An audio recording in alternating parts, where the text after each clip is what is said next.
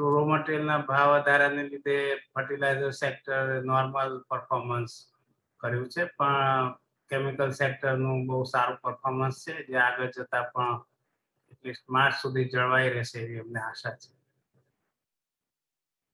Okay Nanavati સાહેબ input કોસ્ટને લઈને થોડી વાત કરવી છે મારે.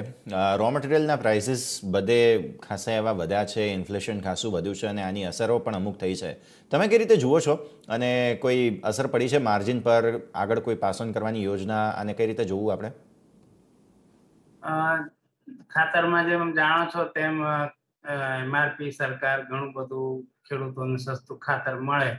એટલે એમઆરપી નું પર ઘણું રિસ્ટ્રિક્શન રાખતું છે ગાઈડન્સ આપતું છે અને અત્યાર સુધીમાં મે મહિના પછી એ લોકોએ સેન્ટ્રલ ગવર્મેન્ટે બે વખત સબસિડી પીએન કે ફર્ટિલાઇઝર્સમાં વધારી છે. ઇનપુટ કોસ્ટના વધારાને લીધે, જેથી કરીને ફાર્મરને કોઈ વધારે ખાતરના ભાવ આપવા ના પડે.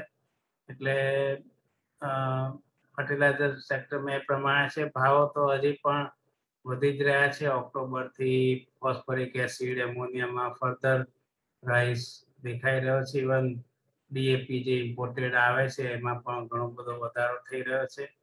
એટલે હાલમાં તો ભાવ ઘટવાના ઇનપુટ કોસ્ટમાં કોઈ સંકેતો નથી. ક્રૂડ ઓઇલ લગભગ ચોર્યાસી, પંચ્યાસી ડોલરની આસપાસ રહે છે. જેથી કરીને બેન્ઝિન વગેરે જે ઇનપુટ કોસ્ટ છે, એ સ્ટેબલ છે એની આસપાસ. પણ ફર્ટિલાઇઝરમાં મેં કહ્યું એમાં આઉટપુટ પ્રાઇસ નથી વધી રહ્યા, પરંતુ કેમિકલ માર્કેટ બહુ બિયોન્ડ છે અને યુરોપમાં પ્રોડક્શન કેપેસિટી ડાઉન થઈ છે લોજિસ્ટિકના શિપિંગના પ્રશ્નો છે, એટલે કરીને ભારતમાં તો ભાવ વધારો જળવાઈ રહ્યો છે અને ઓક્ટોબરથી પણ હજુ ભાવ ઊંચા જઈ રહ્યા છે. ઓકે તો સર, આગળ જતાં તમે ડિમાન્ડ પ્રોસ્પેક્ટ્સ કઈ રીતે જોઈ રહ્યા છો?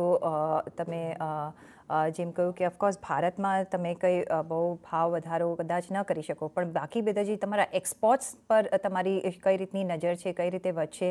અને સાથે જ રેવન્યુ ફ્રન્ટ ઓફ પર તમે કેટલો ગ્રોથ જોઈ રહ્યા છો? આપણો જીએસએફસીનું મોટા ભાગનું વેચાણ ભારતમાં થાય છે, કારણ કે ભારતમાં જ ઘણી બધી ડિમાન્ડ છે. એટલે એક્સપોર્ટમાં થોડી પ્રોડક્ટો જઈ રહી છે, પણ મેં કહ્યું એમ એક્સપોર્ટમાં પણ ભાવ તો વધી જ રહ્યા છે.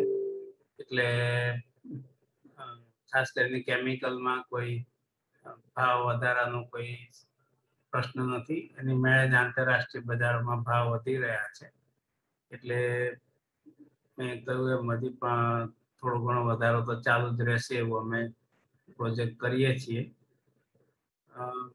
ખાતર તો આપ જાણો છો ભારતમાં જ બધું વેચાય છે. બહુ એક્સપોર્ટ કરવાની પરમિશનો નથી હોતી.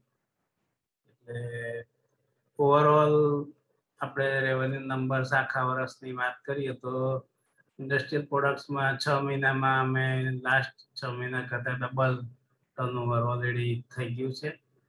એટલે ડબલ તો નહીં, પણ ઘણું બધું લાસ્ટ યર સત્તરસો કરોડ રેવન્યુ હતું ઇન્ડસ્ટ્રીયલ પ્રોડક્ટ અથવા કેમિકલ્સ તો અમે એટલીસ્ટ એમાં એક હજાર કરોડનો વધારો થશે એવું આશા રાખીએ છીએ. ફર્ટિલાઇઝર્સમાં વોલ્યુમ તો ઘટશે કારણ કે આટલા બધા ઇનપુટ કોસ્ટ વધારાને લીધે વોલ્યુમ ઉપર અસર ચોક્કસપણે થઈ રહી છે. તો પણ નંબર્સ વાઇઝ કારણ કે બધા ભાવ વધાર્યા છે. એટલે મોટું મોટું લાસ્ટ યર જેટલું રેવન્યુ ફર્ટિલાઇઝરમાં કદાચ આવી જશે. અને મેં કહ્યું એમ કેમિકલમાં લગભગ એક હજાર કરોડનો વધારો થશે.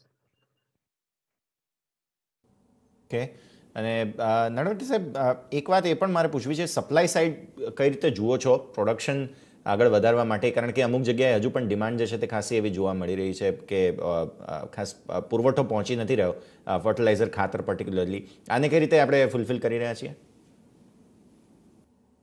એ જે બહુ ભાવ વધારાને લીધે સરકાર પણ સબસિડી વધારી રહી છે. પણ આ સર્કલ ચાલુ જ છે કે સબસિડી વધે છે એની ઉપરાંત ફરીથી ઇનપુટ કોસ્ટ વધી જાય છે. જેમ કે કોસ એસિડ સપ્ટેમ્બર એન્ડ સુધી એનો ભાવ અગિયારસો સાહીઠ ડોલર હતો અને પછી ખેડૂતોને ફાર્મરને ભાવ વધારો ના આપવો પડે એટલે સરકારે સબસિડી વધારી.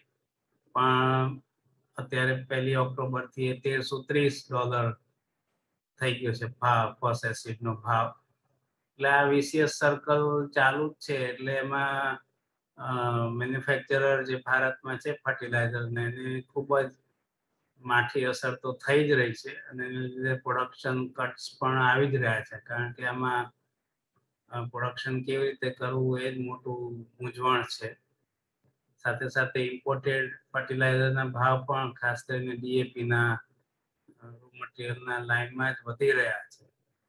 એટલે શોર્ટેજીસ તો જરૂર થઈ રહી છે, પણ સરકાર બધા પ્રયત્ન કરી રહી છે કે કોઈ જાતની શોર્ટેજ ઓન ગ્રાઉન્ડ આવે નહીં. Daily monitoring government of India લેવલથી થઈ રહ્યું છે.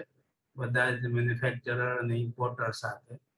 જેથી કરીને જે ડિમાન્ડ ફોરકાસ્ટ છે, ખાસ કરીને રવિ સિઝનની એમાં બહુ મોટું સપ્લાયમાં શોર્ટેજ ના થાય એવા બધા પ્રયત્ન ચાલુ છે.